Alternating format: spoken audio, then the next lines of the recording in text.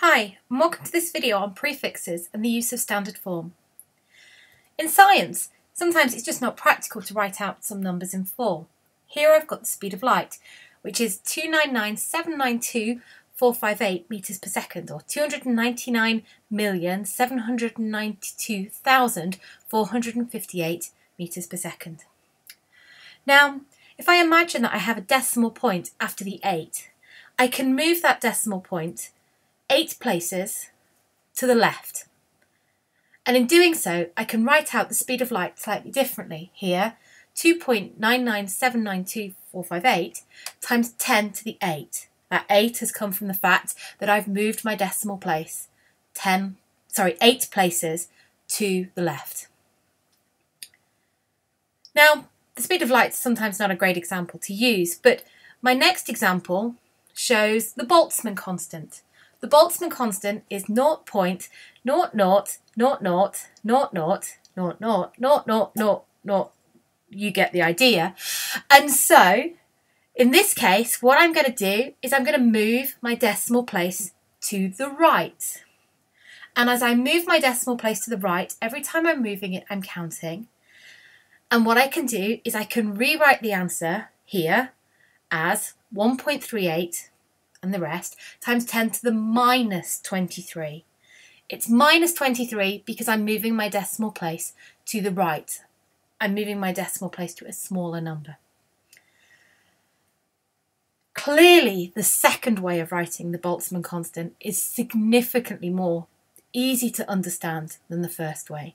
And usually, when we see the Boltzmann constant, it's written as this 1.38 times 10 to the minus 23 joules per Kelvin form.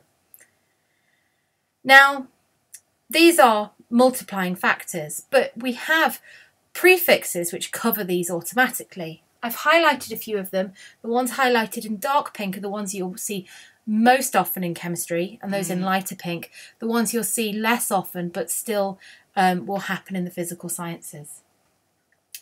So a decimeter is one tenth of a meter, or 10 to the minus 1 of a meter. A centimetre, 10 to the minus 2 of a metre.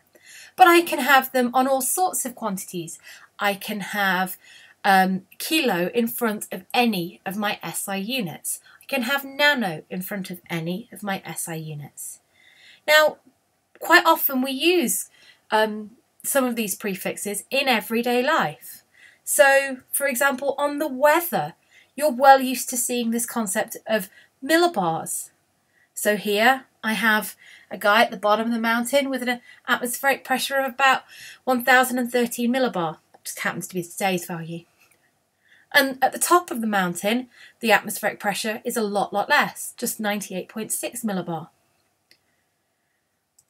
We use deci quite often if we're talking about volumes. So here I've got a guy shouting at 95 decibels.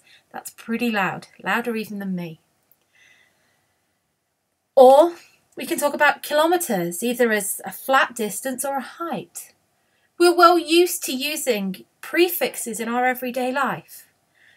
And if you think about chemistry, we use milliliters and decimeter cubed and, and, and millimeters and microns and, and nanometers for light, which is one of my particular favourites. We use megahertz when we talk about frequency and wave numbers when we talk about infrared. Kilojoules, kilocalories, both measures of energy, one perhaps slightly more British and correct than the other. Kilopascals are, are pressure, um, is another version of, of, of, of a unit for pressure if we start to talk about electricity, we start to see microfarads and milliamps, that these prefixes occur everywhere. So, just in summary, some units are better presented either using standard form, these multipliers, or SI prefixes, like the kilopascal. Just one final reminder to remember, the gram is not an SI unit. The SI unit of mass is the kilogram, so we should be converting to kilograms. Now, kilograms is an odd one because we don't end up with a kilo kilogram, we end up with a megagram, or probably not even that, a ton. But just to be careful, just to look that one out um, and be careful whenever you see that in your examples. So check your units. I hope this helps. I'll be back with more.